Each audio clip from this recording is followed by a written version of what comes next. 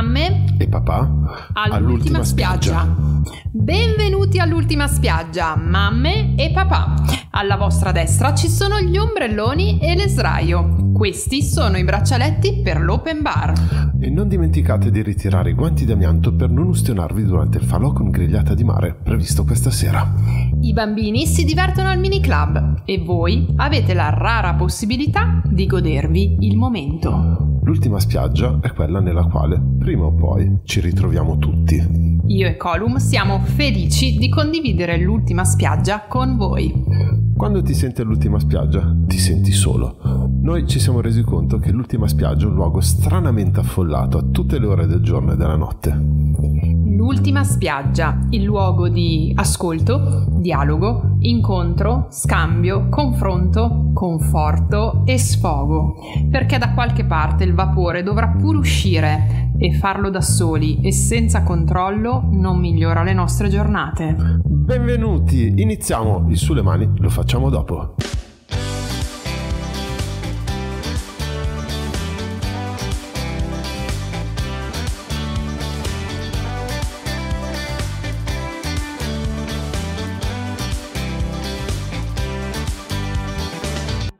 Domenica 16 ottobre si celebra la giornata mondiale dell'alimentazione e noi ci siamo chiesti, ma quante volte parliamo di alimentazione in famiglia? Quante volte stiamo attenti davvero a ciò che mangiamo? La giornata mondiale dell'alimentazione è una celebrazione che è stata istituita dalla FAO nel 1979, quindi più o meno alla nostra età, si mette lì in mezzo e il tema di quest'anno è non lasciare indietro nessuno, che è un messaggio che a me piace molto, e poi una produzione migliore, una nutrizione migliore, un ambiente migliore e una vita migliore. Mettiamolo su scala globale e adesso torniamo indietro nelle nostre case. Sì, perché alla fin fine la famiglia è il primo tassello, no? la prima comunità che va a creare la scala globale poi. E se non ci pensiamo noi genitori al cibo che diamo ai nostri figli, quindi all'alimentazione con la quale facciamo crescere le nuove generazioni, chi dovrebbe pensarci? Perché qualcuno a volte pensa che dovrebbe pensarci la scuola, il pediatra, il nutrizionista, lo sempre stato, lo i stato, poteri forti. Sempre qualcun altro.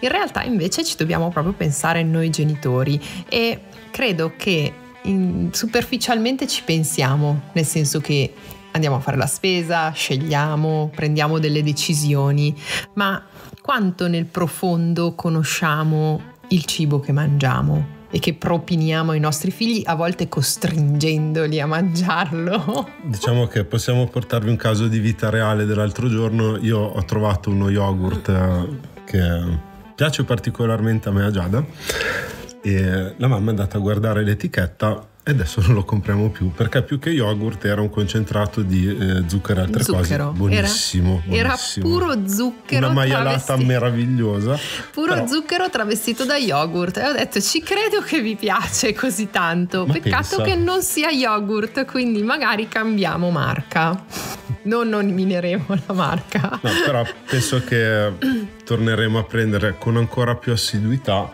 lo yogurt che viene prodotto in Valle dei Mocheni che troviamo in un eh, distributore automatico che è molto buono però chiaramente è un prodotto completamente diverso da concentrato di zuccheri con mm, sì, altro. Perché quello è yogurt. Sì, quello è yogurt, decisamente quando, yogurt, buonissimo. E quando io penso di dare come merenda a mia figlia lo yogurt, vorrei darle lo yogurt, non un concentrato di zucchero messo all'interno di un barattolino di yogurt, che è un'altra cosa. Ma va bene. mio comandante. Perfetto, vedete che poi si torna sempre a questa giusta ed equa posizione. Molto bene. Allora, cosa cosa ne sappiamo del cibo che mangiamo e questo è proprio un esempio, io direi calzante. Sì. Hai fatto un esempio calzante, bravo, bravo, ci è piaciuto. Evviva! Evviva! E ci succede spesso in realtà questa cosa. Sì. Eh, acquistiamo, poi se io vado al supermercato quando ho fame, quando sono affamato, quando sono in sindrome prefessuale è, è, finita, quindi acquistiamo anche in modo compulsivo alle volte, e, mm, ma non sappiamo che cosa stiamo acquistando, cosa c'è nel cibo che mangiamo. L'altra cosa che a me sconvolge sempre tantissimo è l'insalata. Noi abbiamo la fortuna di eh, acquistare l'insalata direttamente dal contadino e mh, mm, tra poco spero avremo la fortuna di mangiare la nostra insalata perché abbiamo l'orto. Che sta crescendo alla grande, tra l'altro, contro tutti i pronostici. Esatto, quindi mh, mm, benvenga, siamo molto fortunati. Eh, rimango però sempre sconvolta da chi fa la scelta di acquistare l'insalata nella busta quella già lavata, eh, pulita, asciugata, pettinata, e, eccetera, eccetera, non so cos'altro possano fare ci sbiancata. Ci stiamo bruciando qualsiasi contratto di sponsorizzazione. Lo so, lo so, ma non ha io importanza perché io l'insalata in plastica non la posso soffrire. Quindi e non la posso soffrire perché? Perché se, andat- se, sono andata a vedere come la fanno quell'insalata e di insalata rimane veramente, veramente poco. Eh, ma perché dobbiamo mettere l'insalata nella busta? E mi risponderete per farla mantenere più a lungo, conservare più a lungo. Per trasportarla. Per trasportarla per venderla rispettando le norme igieniche.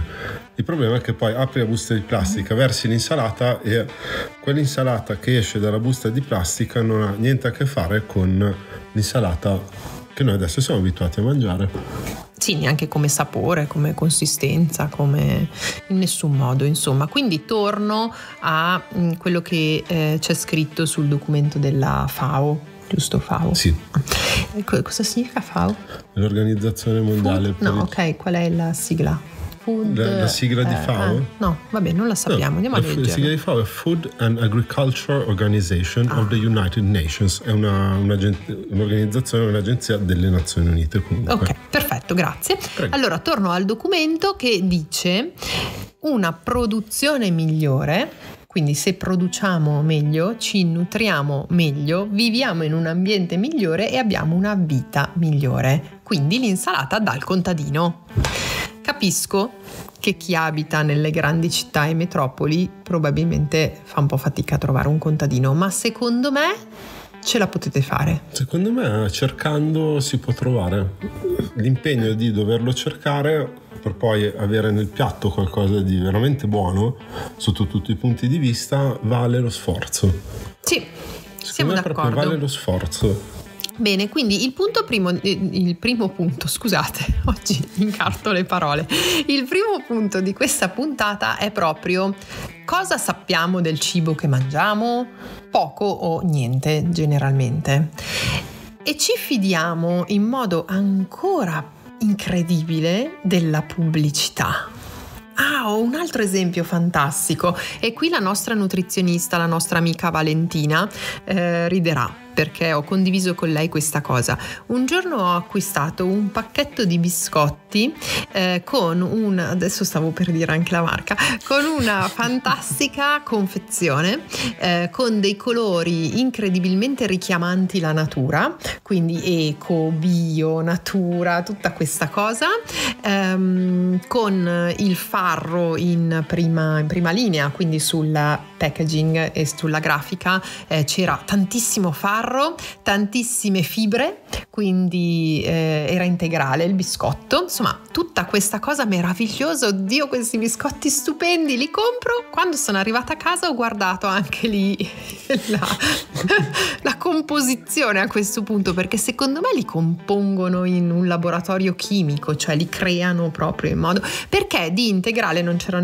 praticamente nulla o poco, le fibre erano in minima parte, ma veramente quasi inesistenti assistenti e mm, ecco grande marketing, grande packaging, bravi, però alla fine non stavo mangiando quello che eh, pensavo. Pensavi di mangiare. Mm-hmm, esatto. Sì, anche se c'è da dire una cosa, in Italia dal punto di vista della sicurezza alimentare, quindi parliamo solo di sicurezza alimentare, viviamo in un paese dove la sicurezza alimentare è estremamente alta, soprattutto se facciamo quell'esercizio che ci piace tanto di andare a vedere cosa fanno all'estero. Eh, la sicurezza alimentare in Italia è a un livello molto alto, non è perfetto perché questo sarebbe, sarebbe un'esagerazione, una bugia, però la, il livello di sicurezza è alto. Ma infatti secondo me non è un problema di appunto livello di sicurezza o di correttezza delle aziende produttrici. Il problema è proprio nostro. Mm. Siamo ignoranti.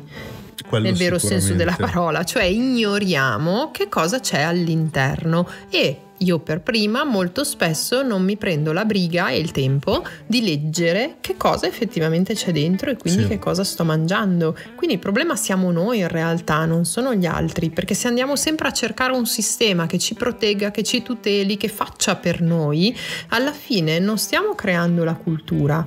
E invece quello di cui abbiamo bisogno, soprattutto in famiglia e come responsabilità genitoriale, è quella di creare una cultura del buon cibo.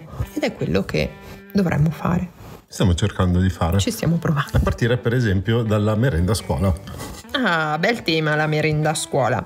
Allora, anche qui dobbiamo dichiarare la nostra fortuna. Noi da queste puntate di podcast veniamo fuori come super fortunati. Noi siamo super fortunati, secondo okay. me. Allora, la nostra fortuna è che la scuola trentina distribuisce a tutti i bambini e in forma gratuita eh, la merenda e la merenda è sempre un frutto, eh, alle volte uno yogurt, alle volte un dolcino che però è, può essere una tortina allo yogurt o qualcosa sì. del genere, insomma è sempre molto così contenuta. Però la media, cioè normalmente Ma, è frutta. Nella quotidianità esatto è frutta, credo che ci siano due o tre volte al mese in cui sì. è qualcosa di diverso.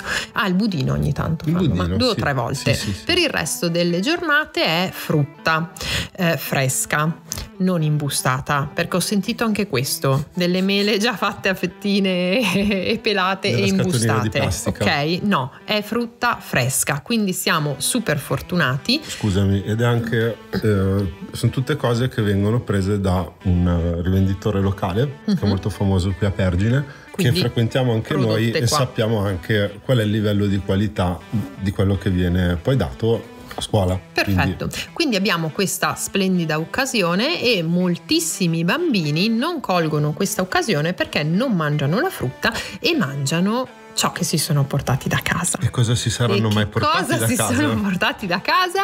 Nella maggior parte dei casi abbiamo le meravigliose, splendide, mirabolanti merendine. merendine.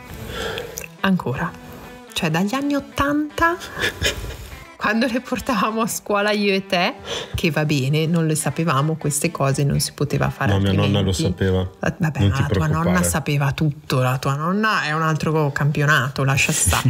Insomma, non lo sapevamo, le nostre mamme ci davano le merendine, così era, era anche Noi esaurivamo novità, le nostre so. mamme per avere le merendine che vedevamo in televisione e le nostre mamme esaurite ce le Ce le hanno comprate ed è colpa nostra comunque secondo me. Hai presente tutta la collezione di gommine, di tutti, delle gomme? Di Ma tutti... sai che ho ancora tre valigette della Mulino Bianco? No, non si nomina. Abbiamo detto che non nominiamo marche. Cosa eh nomini? Ma le valigette le avevamo fatte Devi loro. mettere un buzz qua quando fai il montaggio di fare bzz sul nome. No, no. Vabbè, allora, e merendine, ci sono ancora mamme? Perché in questo caso secondo me è un po' colpa delle mamme, lo devo dire, che danno ai figli le merendine. Ma avete presente che cosa c'è dentro? In quella roba di plastica e io, io non so, cioè non c'è un motivo valido, buono, serio, intelligente per dare la merendina al bambino al di là del fatto che il bambino ti sfracassi eh sì. per eh averle. Allora, noi abbiamo per esempio un problema di tempistiche. Eh, Giada mangia molto tardi a pranzo per una questione di mm, organizzazione della mensa. E, e, quindi dalla colazione del mattino alla merenda di metà mattina fino alla mensa eh, no, non regge sostanzialmente solo con la frutta della scuola. Quindi anche noi le diamo qualcosa da casa, però abbiamo fatto, sempre parlando con la nostra nutrizionista di fiducia, abbiamo fatto questa scelta di darle della frutta secca, eh, eventualmente una barretta sempre appunto di frutta secca sì. e, e, cereali, eh, perché questo le dà chiaramente l'energia di Scusa, cui ha bisogno. quando sbagliamo a comprarle col fondo di cioccolato, ma questo è un altro discorso. Vabbè, dai, ok.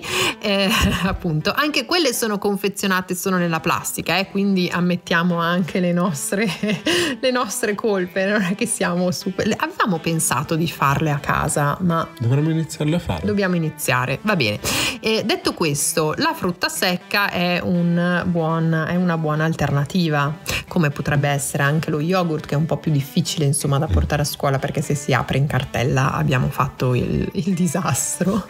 Però ci sono modalità per evitare le merendine. Le mamme più brave, che sono quelle che io stimo profondamente, non sarò mai come loro, fanno le torte, fanno i biscotti li preparano il giorno prima o magari a fine settimana per la settimana successiva e quindi eh, possono dare ai bambini qualcosa di fatto in casa. Profonda stima, se avete tempo, se avete passione, se avete voglia, questa cosa è bellissima.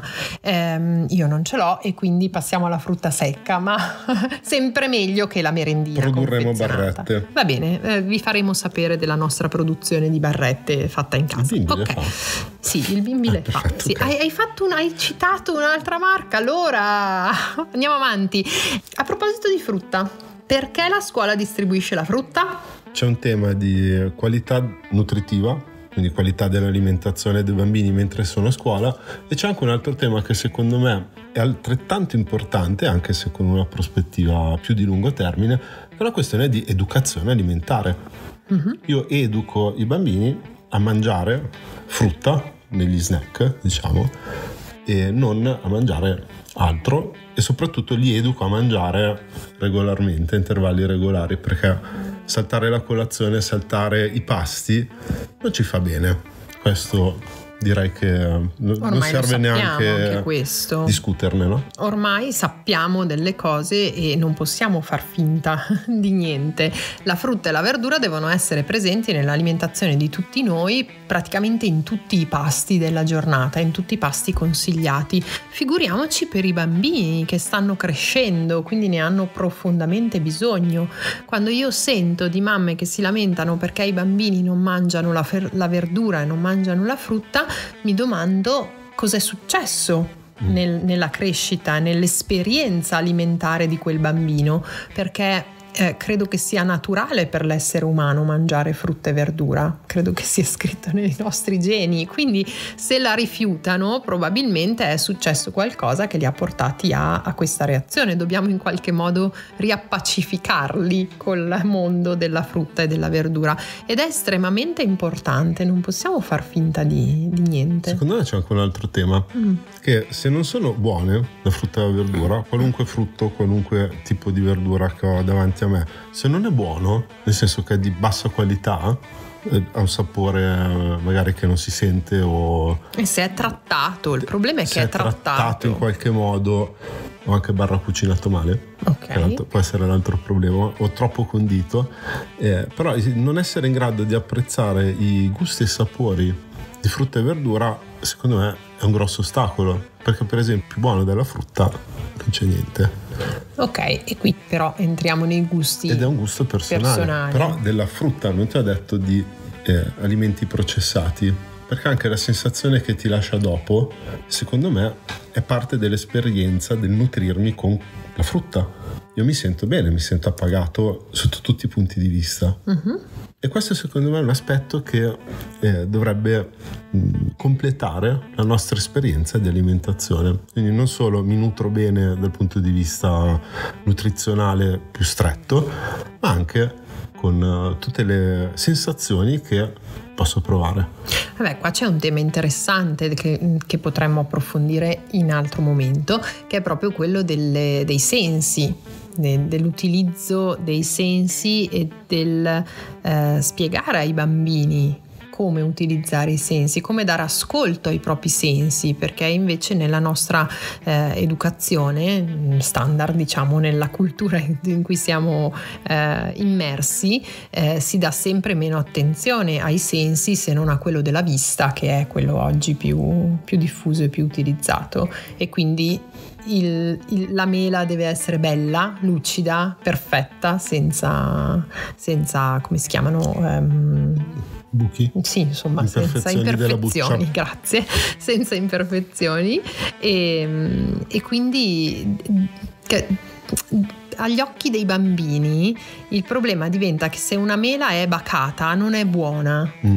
E invece non è così e noi glielo dobbiamo insegnare, altrimenti chi glielo insegna? Giusto. Mm.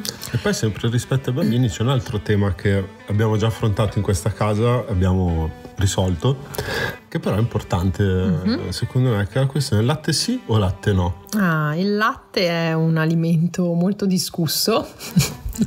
Mettiamola così, in casa noi di latte animale non ne prendiamo quasi mai, succede raramente, di solito non è per noi ma è per Giada. E eh, lo prendiamo dallo stesso distributore dove prendiamo lo yogurt quello buono. E prendiamo il latte quello buono munto da poco chiaramente pastorizzato perché non può essere venduto altrimenti. Ci sono dei pericoli enormi con eh, il latte crudo che non tratteremo oggi. E lo prendiamo poco beviamo delle bevande vegetali sì, su questo. Al posto del latte. Sì, animale. su questo devo dire che non è stato così semplice arrivarci perché eh, oggi non, non, compriamo più latte, ma in passato io ne compravo e ne bevevo tantissimo eh, e di conseguenza anche Giada, ovviamente. Um, è stato un passaggio difficile abbandonarlo, tra virgolette, e abituarsi ad altri sapori, quali quelli delle bevande vegetali che non sono solo soia, ma ce ne sono tantissimi. E buonissime, e... vorrei aggiungere. Esatto. Io direi che la chiave di tutto è stata la curiosità di voler assaggiare, capire mm, che, che cosa c'è no, d'altro sì. e, e, anche per la bambina ha funzionato questa chiave perché dal primo no secco e non voleva assaggiare nulla e eh, non le piaceva nulla di quello che le stavamo proponendo siamo arrivati addirittura a bere il latte di cocco e riso che meraviglia che, mm. che io non avrei mai provato invece perché per me era una cosa particolarmente strana e il primo l'ho preso io. Eh. Eh, e invece adesso lei lo adora. Quindi alla fin fine anche assaggiare cose molto particolari che ci possono sembrare appunto mm, strane eh, incontrano i nostri gusti. È un'esplorazione tutto sommato, un viaggio. E, e, anche questo secondo me dal punto di vista educativo è molto importante. Sì. La, l'alimentazione è, è, esplorazione, è un viaggio, quindi provare, assaggiare, mis, mixare. Poi non è detto che debba piacere no, tutto, certo. però il fatto di non averlo provato lascia comunque il dubbio. Mm, sì. Ed è un peccato avere dubbi ad ampio raggio, diciamo. Cioè il dire di no a tantissime cose, mangiare sempre le stesse cose. Sempre. Sempre. Ed è comunque limitativo, è limitativo mm. mangiare sempre le stesse cose. E non aiuta eh, l'ultimo dei nostri temi di oggi, che è la biodiversità. Noi eh abbiamo eh sì. bisogno di sostenere la biodiversità, di portare avanti le, le, la grande, grandissima varietà che il nostro mondo ci offre. Di... E poi anche la diversità nella nostra alimentazione. Oltre a seguire la stagione, ogni stagione viviamo in un'area di clima temperato, ci offre tantissimo, anche l'autunno e l'inverno. E torniamo al discorso della nostra ignoranza, sappiamo davvero poco su quelli che sono gli alimenti, eh, per esempio delle nostre terre, del, eh, de, della stagione anche, e, e, quali sono i cereali, per esempio, quanti cereali esistono, li conosciamo, li sappiamo utilizzare, perché poi oltre a conoscerli bisogna anche saperli cucinare. E quali hanno il glutine e quali no? Ma ecco. il glutine fa sempre male. Cioè ci sono una serie di domande. Il glutine? Cos'è il glutine? Queste domande poi i bambini ve le fanno nel sì. momento in cui si entra nel, nell'argomento ed è bello anche scoprire insieme, esplorare, è bello saper, saper rispondere, sai che non lo so che cos'è il glutine Andiamo o quantomeno, insieme. Esatto, quantomeno non conosco abbastanza bene l'argomento per poterselo spiegare, quindi magari nella mia testa penso di saperlo, ma poi quando lo devo spiegare boh, ok, andiamo sì. a vederlo insieme. E questo è un modo per crescere, per studiare, per imparare, che va al di là di quello che è la scuola. E, ed è giusto che sia così perché la famiglia deve mantenere il suo ruolo educativo anche in questo senso. Quindi non possiamo delegare a, alle istituzioni il nostro ruolo educativo eh, riferito all'alimentazione. È strettamente familiare. Oggi ci siamo bruciati le possibilità di sponsorizzazione con eh, tanti tanti potenziali sponsor e siamo felici così. Dal Festival del Podcasting ad oggi ti sei fissato con gli sponsor. Eh, non importa, è lo stesso. Va bene così. Va bene così.